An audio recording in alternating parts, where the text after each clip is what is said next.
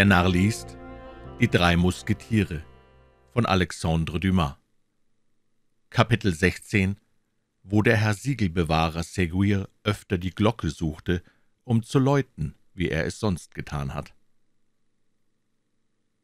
Man kann sich unmöglich eine Vorstellung machen, welchen Eindruck jene paar Worte auf den König hervorbrachten.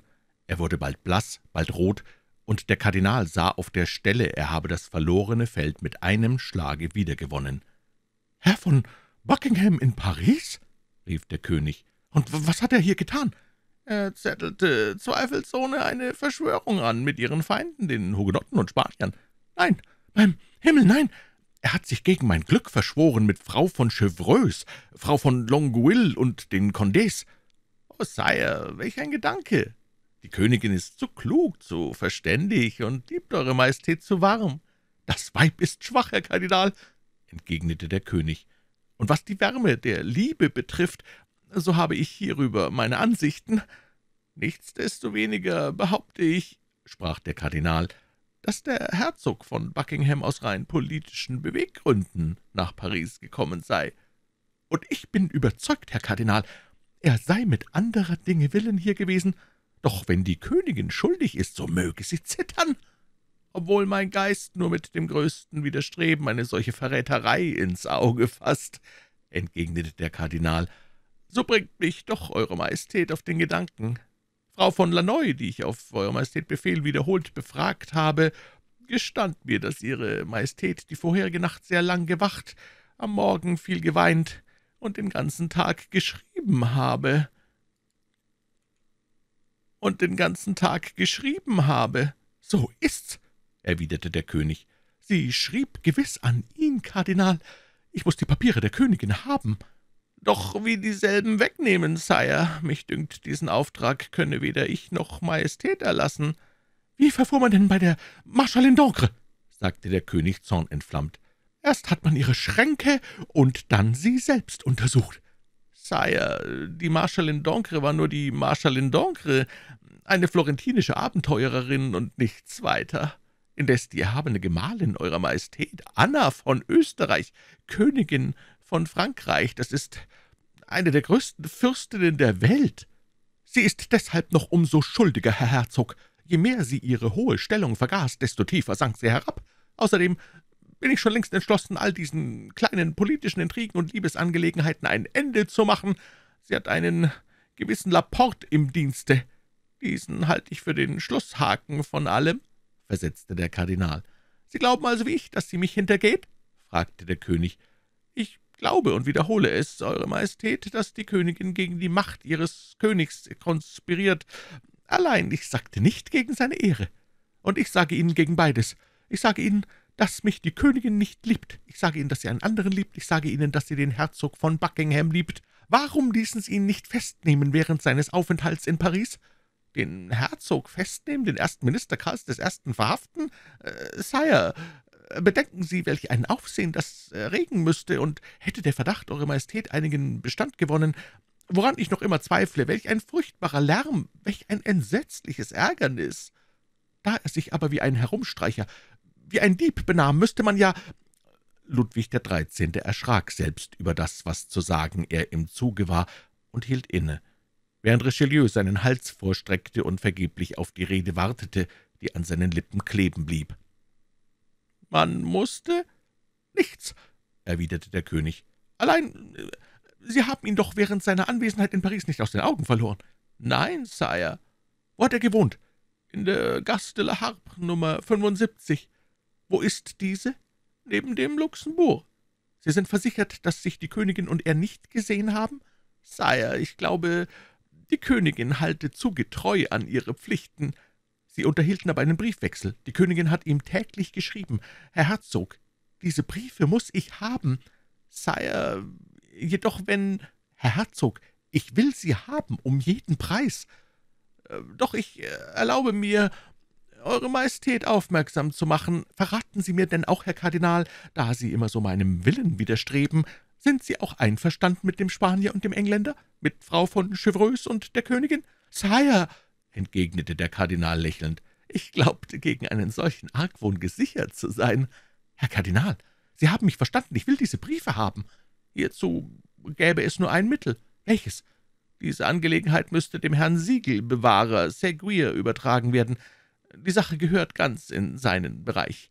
Man soll ihn auf der Stelle berufen. Er wird bei mir sein, Sire. Ich ließ ihn bitten zu kommen, und als ich in den Louvre ging, gab ich Befehl, ihn, wenn er kommt, warten zu lassen. Man hol ihn auf der Stelle. Der Befehl, Eure Majestät, wird vollzogen werden, aber... Was aber? Aber die Königin wird sich vielleicht weigern zu gehorchen. Meinen Befehlen? Ja, wenn sie nicht weiß, dass diese Befehle vom König ausgehen? Nun, damit sie ja nicht daran zweifle, will ich es ihr selber melden. Eure Majestät wollen nicht vergessen, dass ich alles tat, um einen Bruch zu vermeiden. Ja, Herzog, ich weiß es. Sie sind zu nachsichtsvoll für die Königin, und ich sage Ihnen, wir müssen später darüber sprechen, wann es Eure Majestät belieben wird. Aber ich werde immerhin glücklich und stolz sein, Sire, mich der guten Harmonie zu opfern, die meinen Wünschen gemäß zwischen dem König und der Königin von Frankreich herrschen soll. Gut, Kardinal, gut. Doch lassen Sie mir den Siegelbewahrer holen, indes ich bei der Königin eintrete.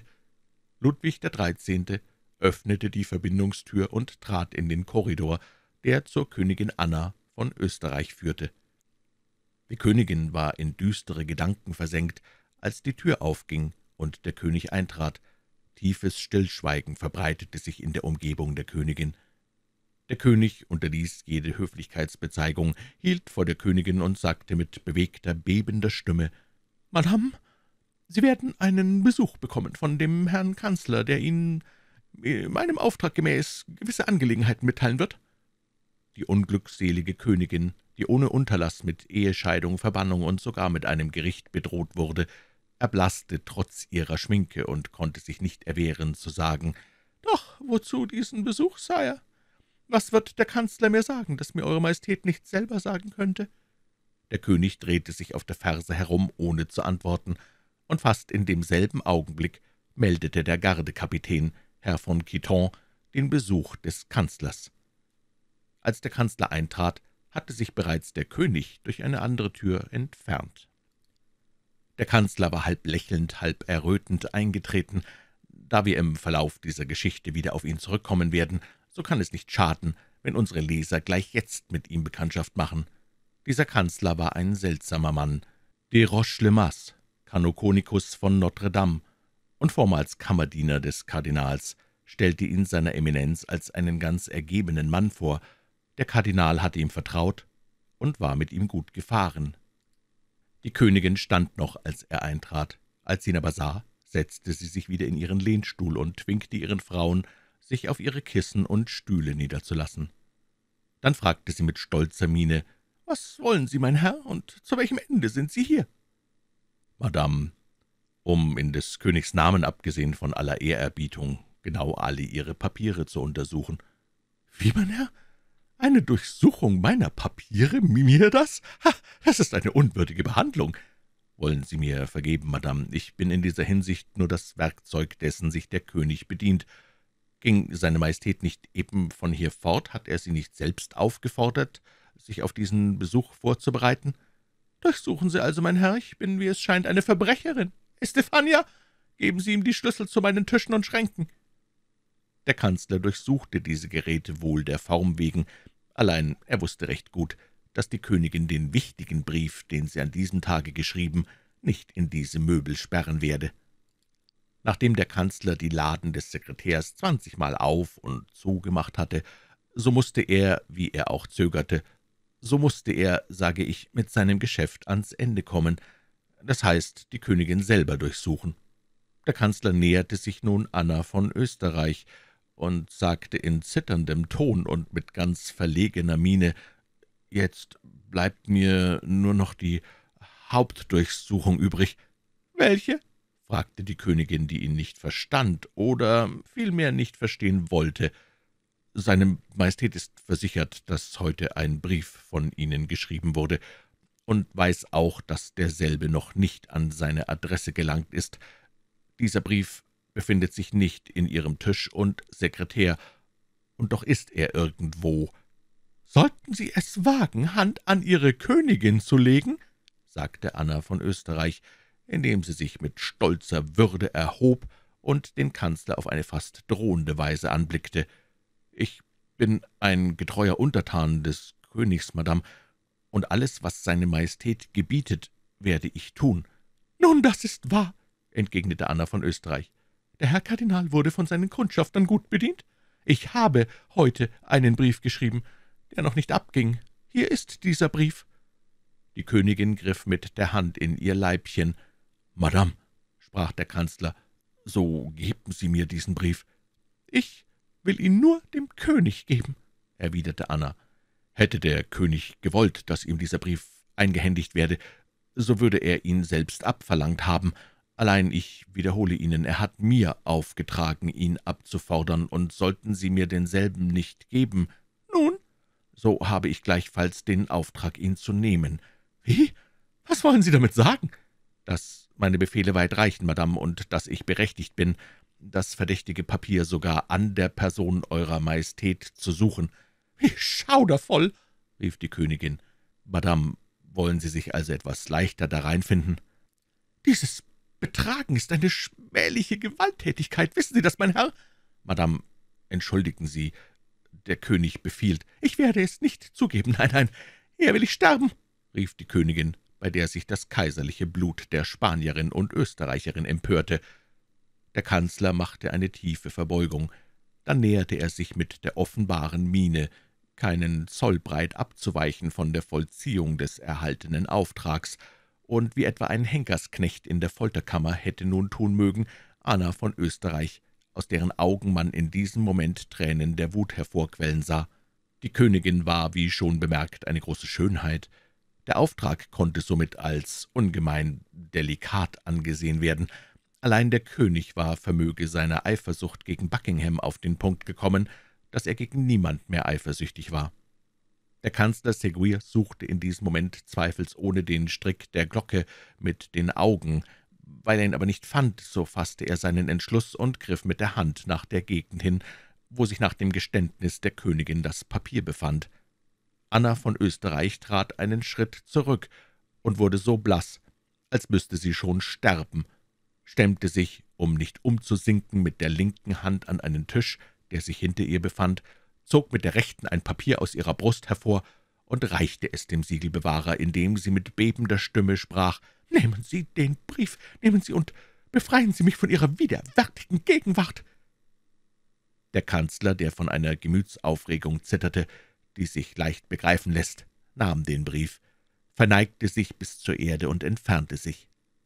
Die Tür war hinter ihm kaum geschlossen, als die Königin halb ohnmächtig in die Arme ihrer Frauen sank. Der Kanzler brachte den Brief zum König, ohne dass er ein einziges Wort gelesen hatte. Der König empfing ihn mit bebender Hand, blickte nach der Adresse, die noch fehlte, wurde sehr blass, entfaltete ihn langsam und las ihn sehr rasch. Als er an den ersten Worten ersah, dass er an den König von Spanien gerichtet sei.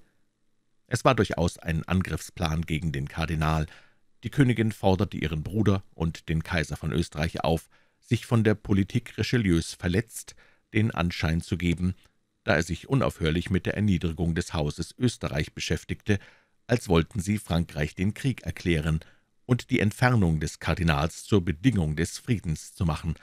Doch von der Liebe ward in diesem Briefe nicht eine Silbe gesprochen. Der König war ganz erfreut darüber und erkundigte sich, ob der Kardinal noch im Louvre sei.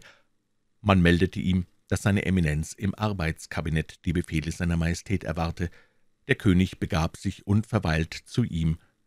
»Nun, Herzog«, sprach er zu ihm, »Sie hatten recht und ich hatte Unrecht. Die ganze Intrige ist politischer Art, und von der Liebe ist in diesem Brief gar nicht die Rede. Dagegen geschieht Ihrer stark Erwähnung. Der Kardinal nahm den Brief und las ihn mit der größten Aufmerksamkeit. Als er zum Schluss kam, fing er ihn noch einmal zu lesen an. »Nun, Eure Majestät«, sprach er, »Sie sehen, worauf es meine Feinde anlegen. Man droht ihnen mit zwei Kriegen, wenn sie mich nicht entfernen. An Ihrer Stelle, Sire, würde ich wirklich einen so mächtigen Andringen nachgeben, und ich meinerseits schätze mich glücklich, wenn ich mich von den Geschäften zurückziehen dürfte.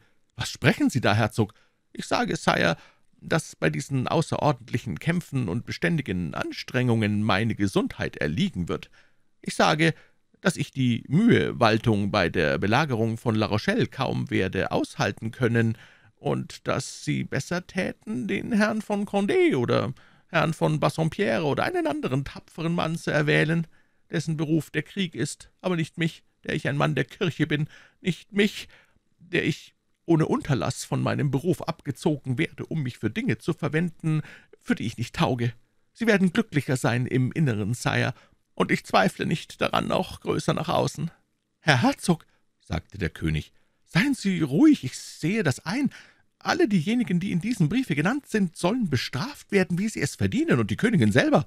Sire, was sprechen Sie da? Gott soll mich bewahren, dass die Königin meinetwegen im Mindesten behelligt werde.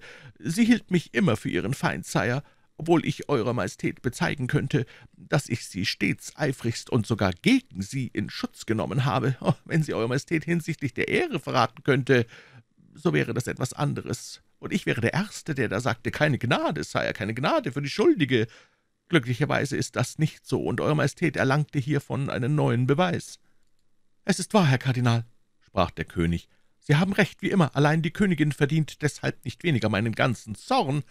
Sie haben sich den Ihrigen zugezogen, Sire, und wirklich wäre es mir erklärlich, wenn sie Eure Majestät ernstlich gramen würde. Solche Art will ich stets meine und Ihre Feinde behandeln, Herzog, wie hoch auch dieselben gestellt sein mögen, und welcher Gefahr ich auch laufe bei Ihrer strengen Behandlung. Die Königin ist meine Feindin, doch ist sie nicht die Ihrige, Sire. Im Gegenteil ist sie eine ergebene und tadellose Gemahlin. Gestatten also, Eure Majestät, dass ich mich bei Ihnen für sie verwende, so soll sie sich demütigen und mir zuerst entgegenkommen. Im Gegenteil, Sire, geben Sie das Beispiel. Sie hatten zuerst Unrecht, da Sie die Königin in Verdacht gezogen haben. Ich sollte den ersten Schritt tun? sagte der König. Nimmermehr. Sire, ich bitte inständig. Außerdem, wie sollte ich ihr zuerst entgegenkommen? Indem Sie etwas tun, wovon Sie wissen, dass es ihr angenehm wäre. Was? Geben Sie einen Ball. Sie wissen doch, wie sehr die Königin den Tanz liebt. Ich bürge dafür, dass sie auf eine solche Aufmerksamkeit keinen Groll mehr nähren werde. Herr Kardinal, Sie wissen, dass ich die weltlichen Vergnügungen nicht liebe. Die Königin wird Ihnen umso dankbarer sein, als sie Ihre Abneigung gegen diese Vergnügungen kennt. Außerdem wird ihr eine Gelegenheit geboten, die schönen diamantenen Nestelstifte zu tragen, die Sie ihr an Ihrem Namenstag schenkten und womit sie sich bisher noch nicht geschmückt hat. »Wir wollen sehen, Herr Kardinal, wir wollen sehen«, sagte der König. »Wir wollen sehen, doch bei meiner Ehre, Sie sind zu nachsichtsvoll.« »Sire«, versetzte der Kardinal, »überlassen Sie die Strenge Ihren Ministern. Die Nachsicht ist eine königliche Tugend. Wenden Sie dieselbe an, und Sie werden sich überzeugen, dass Sie sich dabei wohl befinden.« Als hierauf der Kardinal die Pendeluhr elf Uhr schlagen hörte, verneigte er sich tief bat den König, sich entfernen zu dürfen, und ersuchte ihn, als er sich wegbegab, noch einmal, dass er sich mit der Königin wieder aussöhne. Anna von Österreich, die wegen des ihr abgenommenen Briefes auf Vorwürfe gefasst war, verwunderte sich sehr, als sie am folgenden Tage sah, wie er sich ihr zu nähern bemüht war. Ihre erste Bewegung war zurückweisend, der Stolz der Frau und die Würde der Königin waren zu grausam verletzt, so dass sie sich von dem ersten Schlag nicht sogleich erholen konnte. Allein durch die Frauen ihres Gefolges bewogen, gab sie sich die Miene, als wollte sie allmählich vergessen. Der König benutzte den ersten Augenblick, um ihr unablässig zu sagen, er sei gesonnen, eine Festlichkeit zu veranstalten. Eine Festlichkeit war für die arme Anna von Österreich etwas so Seltenes, dass bei dieser Ankündigung, wie es der Kardinal voraussah, die letzte Spur ihres Grames, wenn auch nicht in ihrem Gemüt, doch mindestens in ihrem Antlitz verschwand. Sie fragte, wann diese Festlichkeit stattfinden sollte, allein der König erwiderte, dass er sich jedenfalls mit dem Kardinal besprechen müsse. In der Tat fragte der König täglich den Kardinal, wann die Festlichkeit statthaben sollte, und jeden Tag verschob es der Kardinal unter irgendeinem Vorwand, sich darüber bestimmt zu erklären so vergingen zehn Tage. Acht Tage nach diesem erzählten Auftritt erhielt der Kardinal einen Brief mit dem Stempel von London, worin bloß diese Zeilen standen. »Ich habe Sie. Allein ich kann London nicht verlassen, weil es mir an Geld gebricht. Senden Sie mir 500 Pistolen, und vier bis fünf Tage nach dem Empfang derselben werde ich in Paris sein.« An demselben Tag, als der Kardinal diesen Brief erhalten, wandte sich der König wieder an ihn mit der gewöhnlichen Frage. Richelieu zählte an seinen Fingern und sprach ganz still zu sich selbst. »Wie sie schreibt, kommt sie vier oder fünf Tage nach dem Empfang des Geldes. Das Geld braucht vier oder fünf Tage, um dahin zu kommen. Sie braucht vier oder fünf Tage, um wieder hier einzutreffen.